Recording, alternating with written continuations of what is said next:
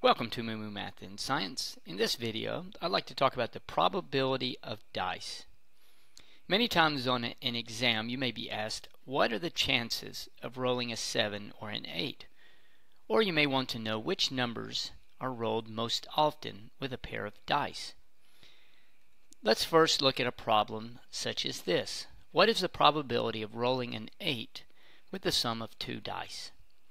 Use this formula the number of favorable events over the number of total events. This chart will help you understand this. When you roll two different colored dice, here's a chart of all of the outcomes. You have six outcomes on each die, so 6 times 6 gives you 36 outcomes, or different sums of the dice. This will be your number of total events. Now let's figure out the number of favorable events.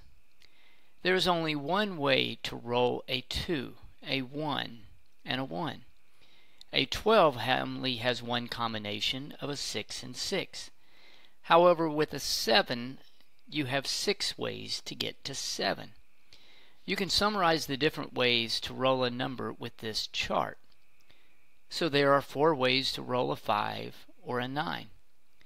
This chart is easy to memorize. Start at 2, count down to 7, then back up to 2, and then in the last column back down to 6. So let's calculate the probability of rolling a 4.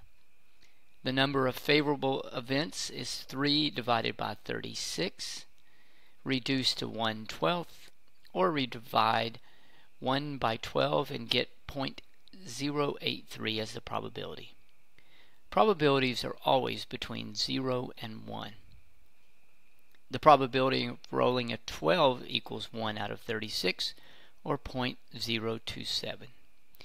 Remember this is the probability of rolling the dice, not the odds. Odds is favorable to unfavorable. Which numbers are rolled most often? Here's a chart showing this. 7 has the highest probability and 1 and 12 have the lowest probability of being rolled. So there we go, the basics of probability of dice.